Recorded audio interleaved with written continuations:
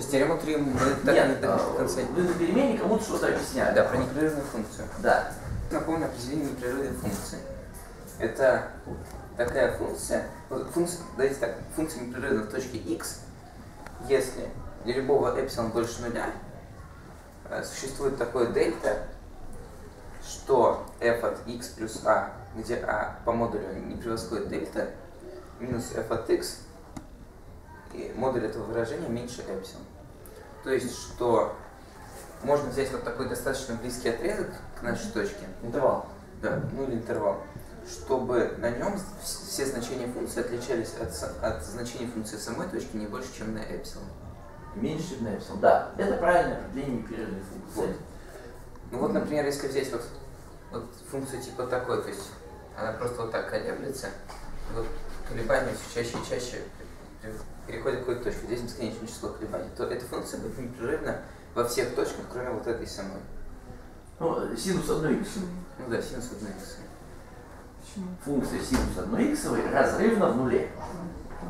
Потому что Потому что сколь угодно близко к нулю, у нее есть и значение вот там 1 и минус 1. единицы, и значение равное минус Вот, а, ну а здесь, понятно, что если взять другую точку, то здесь, если мы достаточно близкий отрезок возьмем, то оно будет мало отличаться. Нет, ну, Андрей, смотрите, это с одной стороны хорошо, а с другой стороны у нас сейчас нужно все-таки доску. Поймем, что нам связанное и компактное подмножество прямой обязательно является отрезком. Прошу Ну, вас. месте, где А и Б это...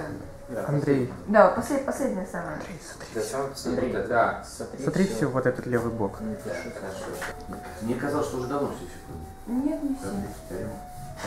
Если оно компактно, то оно ограничено. Вот, ну, соответственно, так, у него точный верхний, у него точный нижний. Так, мы также доказали, что на э- этом интервале АБ все точки принадлежат нашему множеству. Ну и что еще надо?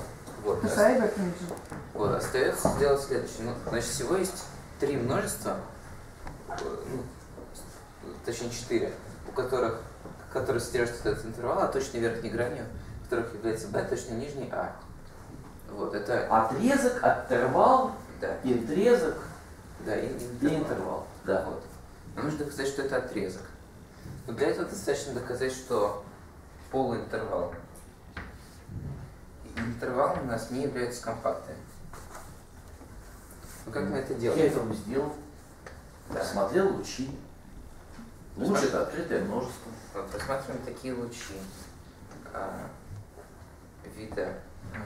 Ну, то есть это точка А, вот у нас какой-то там, вот это на Вы не волнует, да. Да, не волнует. Вот, рассматриваем, естественно, лучи. Ну, пусть у нас будет координату А вида, значит, 1 плюс 1 n, Ну, единственное, что вот вы сейчас рассматриваете вот нет, случая наоборот. Когда эта точка входит, а это не входит. где n принадлежит наш натуральным числам. Вот, рассматриваем вот такое количество лучей. Их бесконечно много, но они все покрывают наш... И будет некомпактно. А почему, если мы... Ну, Нет, мы же рассматриваем... В чем проблема, Алиса? Я не понимаю, почему, когда мы потом возьмем точку Б, они лучше. А, нет. М, Нет, давайте Андрей еще раз вот сейчас. Может быть, 10 раз, но он уже все сказал.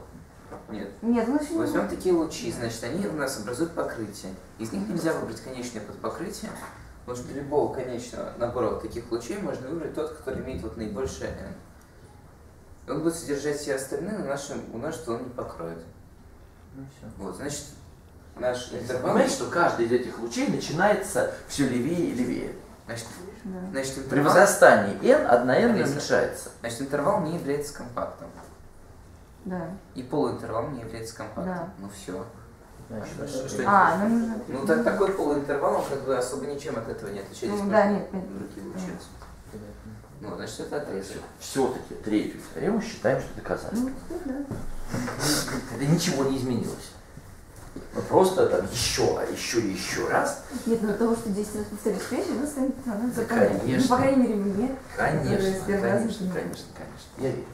Вот. А теперь а, давайте смотрим, ребят. Можем пока шпилем один вернуть вас, Ну. закрепить, если мы идем по этому пути. м, Да, почему мы идем по этому пути? Мы идем в раскоряк.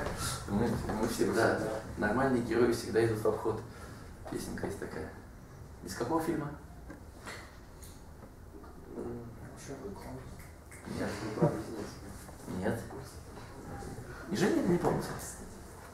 Великий фильм. Называется «Айболит 66». А, Ой, нет. Такой есть Быков, э, Роман Быков. Вот, э, режиссер, совершенно гениальный фильм.